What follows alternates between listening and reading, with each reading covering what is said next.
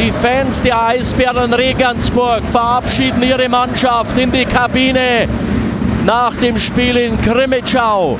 Regensburg verliert im proppevollen Sandpark in einem echten Hexenkessel mit 1 zu 6 0-2 nach dem ersten Drittel, dann 0-4 im zweiten Drittel. Tom McCallum, der geht dann von der Eisfläche. Jonas Neffin kommt Cory Trivino mit der Ergebniskosmetik.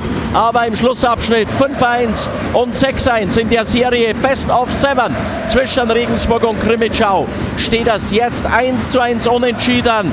Es kommt zum nächsten Spiel am Montag um 17 Uhr in der Donau Arena in Regensburg. Noch ist nichts verloren. Die Eisbären verlieren allerdings ihr erstes Match in dieser Playoff-Runde in Krimitschau deutlich mit 1 zu 6.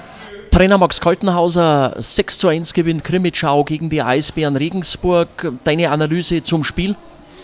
Ja, äh, Krimitschau war halt besser, das muss man, muss man anerkennen. Wir haben halt nicht, äh, waren nicht in der Lage, das Spiel zu machen, das wir normal gewohnt sind. Ähm, wo jetzt gleich sagen, das ist jetzt keine Ausrede, was ich jetzt sage, aber das Eis haben wir auch gesehen, war, Krimitschau spielt auf dem gleichen Eis, wir, ist, aber wir sind augenscheinlich damit auch nicht so gut zurechtgekommen.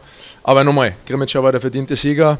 Ähm, aber im Playoff ist scheißegal, 6-1, 16-1, 1-0, das war ein Punkt, jetzt steht es 1-1 und äh, in 48 Stunden sehen wir uns wieder.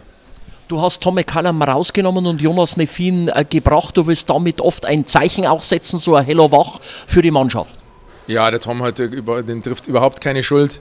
Aber man muss natürlich irgendwann was machen. Wobei die Tore, also Mei, wir, teilweise haben wir es selber aufgelegt, da mache ich aber auch keinen Vorwurf. Mei, wir haben jetzt auch, wir haben, spielen jeden zweiten Tag, wir haben dreimal jetzt äh, Do-or-Die-Spiele gehabt, haben jetzt in die Serie super gestartet. Das ist auch, auch menschlich, dass es mal nicht so geht, aber wir haben, wir haben alles probiert, aber heute ist es halt einfach nicht gegangen. Aber wir werden natürlich versuchen, dass wir, dass wir am Montag, ähm, ja, dass wir wieder da sind. Danke, Max Kaltenhauser.